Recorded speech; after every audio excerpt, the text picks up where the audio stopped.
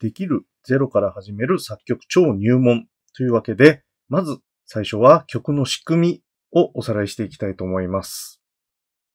さて、早速ですが、今8小節間の短い曲を用意していますので、まずは聴いてみてください。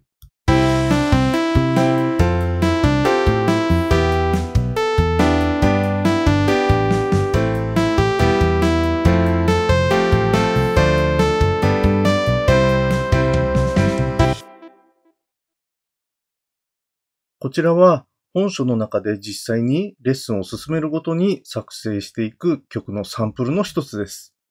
こちらのサンプルを使って、まずは音楽の三大要素というものを確認しておきたいと思います。音楽の三大要素のうち、まず一つ目はメロディー、旋律ですね。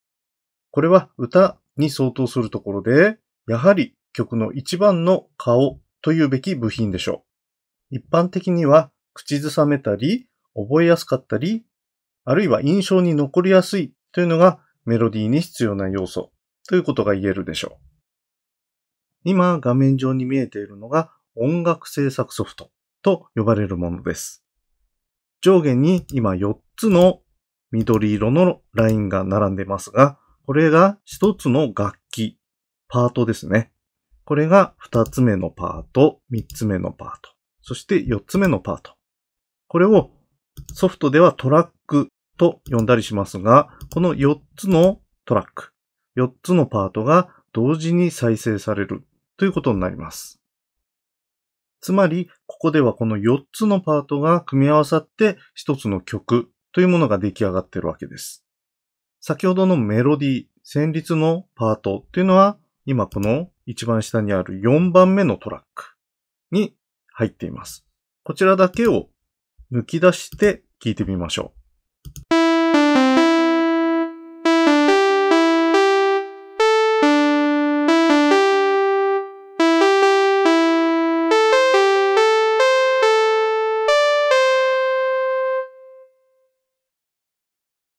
三大要素の二つ目はリズムです。リズムは主にドラムというような楽器が演奏するパートになります。曲に一定の周期を与えるもので、テンポというのを打ち出すのもこのパートの大きな役割になります。ここでは一番上のトラック。こちらがドラムになっています。これも抜き出して聴いてみましょう。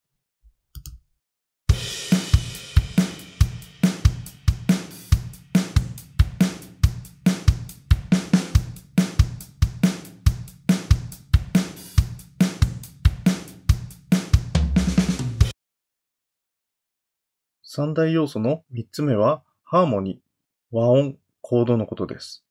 和音というのは、二つ以上の違った高さの音が同時に鳴らされたものです。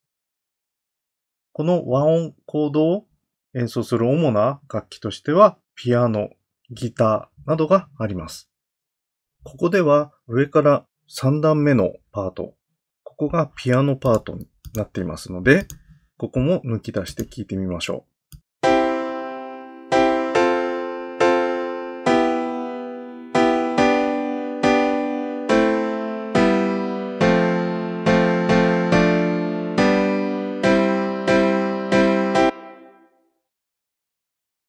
和音、コードというものは、このようにどんどん次の和音に移り変わっていくことで、曲の印象というものが決定されます。三大要素プラスアルファの楽器として、ベースというパートがあります。これは和音の響きを安定させる役割と、コードとコードをつなぐ役割。さらにはリズム楽器として、ドラムと一緒にリズムを奏でるという縁の下の力持ちとなる重要なパートです。ここでは上から2番目のトラックがベースのトラックになっています。こちらも抜き出して聞いてみましょう。